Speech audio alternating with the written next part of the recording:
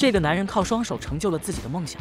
柜子里全是名表，住的是天价豪宅，兰博基尼是基本座驾。而他的职业是一名神经外科手术医生。之所以这么有钱，得益于他那双让所有医生羡慕的手。在手术台上，他边听音乐边做手术，也能做到精准无误。性格高傲的他，还只挑那些难度极大、价钱昂贵的手术来做。但一场突如其来的车祸，让他的双手神经组织严重受损，再也握不动刀了。他为自己制定了一系列手术方案，但恢复效果都微乎其微。因为他的偏执，女友也离开了他。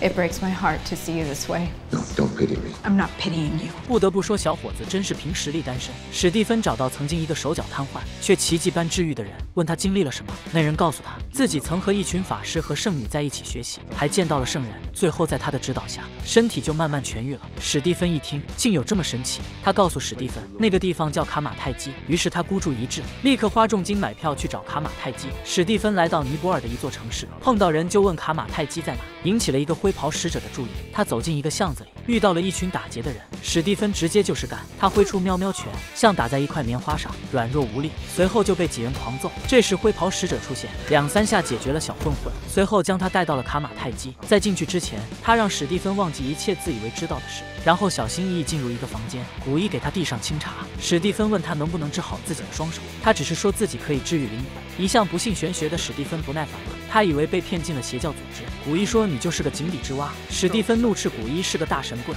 I see through you. 但下一秒他就感到深深的后悔。古一反手将他灵魂打出了体外。但即使这样，史蒂芬仍然不信邪。他认为肯定是刚刚的查理有置换药物。于是古一直接按住他额头，把他丢进了异次元空间，飞出地球。然后又掉进时空隧道，不断的在多个世界中穿越，让他看到了多元宇宙。回来后，史蒂芬彻底服了。Teach me. No. 在门外苦等好几个小时后，小黑将他放了进去，为他安排了住处，并递给他一张纸 Uh, 条。what's this? My laundry? The Wi-Fi password. We're not savages. 如果穷人靠科技，富人靠变异，那奇异博士是靠什么呢？史蒂芬开始和众多弟子一块训练法术。刚开始，在一群法师之中，他就像个路人，别人都能画出电焊光圈，而他的特效就像没有充钱一样，只能擦出点火星子。古一来检查学习情况，史蒂芬立刻甩锅说自己手太抖。It's not about your hands. How is this not about my hands? Master Hamir? 接下来，史蒂芬被啪啪打脸。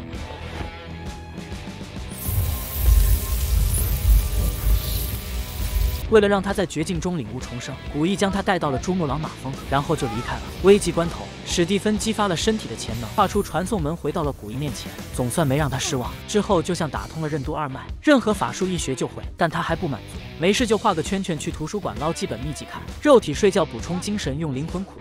古一眼看这小子又要飘了，于是创造了一个镜像空间，在这里所发生的一切都不会影响到现实世界。古一告诉他，天外有天，多元宇宙中含有的危险是他无法想象的。一天深夜，史蒂芬来到图书馆，翻看起魔法禁书，他看到一页可以控制时间的魔法，于是决定试试。他取下阿哥摩托之眼，双手结印，将绿色的法阵套在手上，随后开始施展时间法术。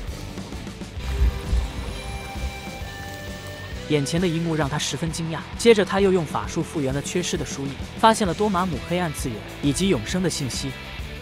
这时，小黑和图书管理员赶来阻止他继续查阅。干涉时空连续性是大忌，操纵时间可能会创建出时间分支，空间悖论，时间循环。但他并没有看到书中实施禁术后会有何种危险。两人给他普及魔法世界的知识。千年前，法师始祖阿哥摩托在现实世界创建了三座神殿，分别在香港、纽约、伦敦。三个神殿构成了魔法网，保护世界不受到外来魔法伤害。而黑暗空间的多玛姆则想吞噬所有多元宇宙。卡西利亚斯是古一最得意的弟子，但他为了追求黑暗魔法的力量，背叛了古一，成了多玛姆的手下。他闯进图书馆，杀掉了管理员，还撕走了那两页禁书内容。虽然古一施展魔法清理了门户，但还是让卡西利亚斯使用传送门逃走。史蒂芬一听就怂了，毕竟他来这里只是为了治疗双手，并不是来玩命保护地球的。就在此时，伦敦神殿已经被攻陷。史蒂芬被冲击推进了纽约圣殿，眼看纽约神殿守护者危在旦夕，他连忙冲上去制止卡西。史蒂将魔法变成武器，和卡西手下展开近战，但仅靠这两下子完全不是卡西的对手。他扭头就跑，卡西不慌不忙施展黑暗法术，让他原地踏步。随后肆意玩弄空间。史蒂芬苦不堪言，但并非完全无法反抗。他看准时机跳了下去，将卡西的手下踹进了沙漠，然后将另一个扔进了雨林。接下来是和卡西的单挑时间。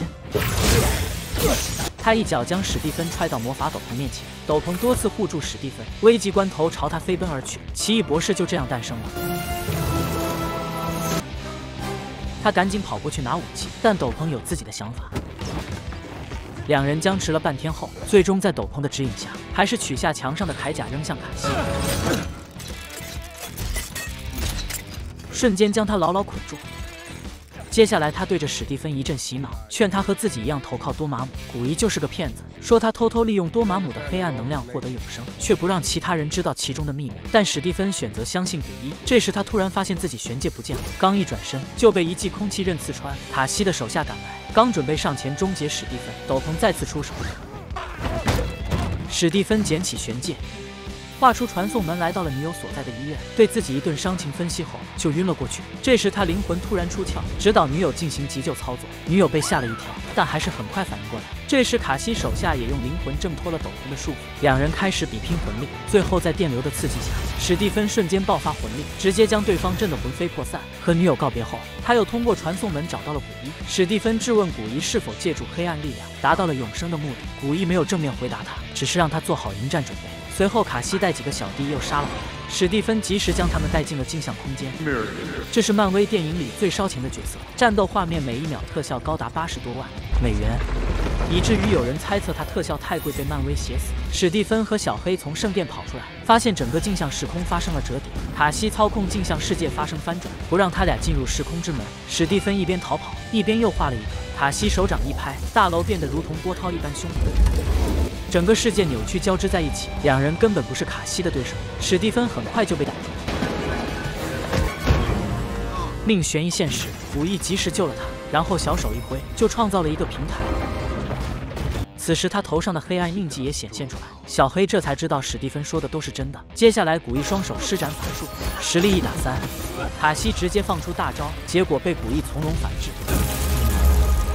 眼看明的不行，他就来暗的，冲上去一刀连同手下刺穿古一，然后将他踢进了现实世界的传送门，从高空坠下，重重摔在地上。史蒂芬立刻将他送到医院，但也无力回天。古一的灵魂飘到了阳台，他告诉史蒂芬，自己并不愿意从黑暗中获取力量，但是总有人需要打破常规，也只有这样才能战胜多玛姆。现在他选择将重任交给史蒂芬，然后坦然接受了死亡。在经历这一切之后，史蒂芬终于决定保护世界，担起重任，成为新一代至尊法师。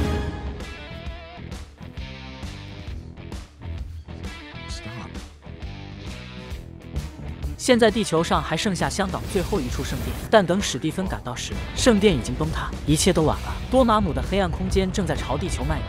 史蒂芬启动阿戈摩托之眼，时间在卡西碰到史蒂芬的最后一刻定格。随后他开始操控法术，让时间倒流。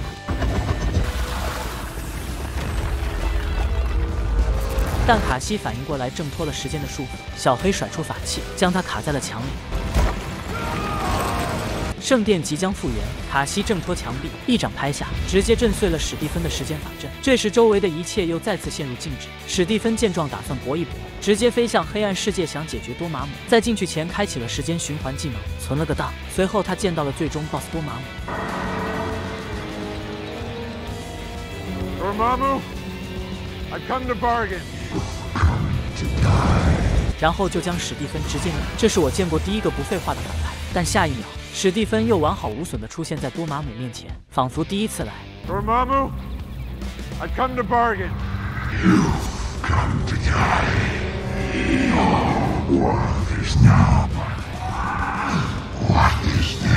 于是他又被多玛姆瞬秒，接着又蹦出来个史蒂芬，又是那句熟悉的开场白。多玛姆有些懵逼了。This is time, endless time. 多玛姆开始不耐烦起来，一掌将他送了回去，然后又复活，又消失。多玛姆，I come to bargain。多玛姆，多玛姆，多玛姆。经过无数次刷新后，多玛姆终于受不了这个嘴炮，于是他开始听史蒂芬带来的条件，他要让多玛姆带着信徒离开地球，永远不要再回来。史蒂芬再次回到地面，看着卡西等人化为了永远的黑暗。最后他控制时间倒流，恢复了圣殿和时空。就这样，史蒂芬用嘴拯救了世界，阿戈摩托之眼也被放回原处。信念扭曲的小黑干掉了之前被古一治愈的男人。为之后的剧情埋下了伏笔。影片最后出现了彩蛋，雷神索尔出现在了史蒂芬的圣殿，他是来地球找自己父亲奥丁的。这部电影到此就结束了，我们下次见。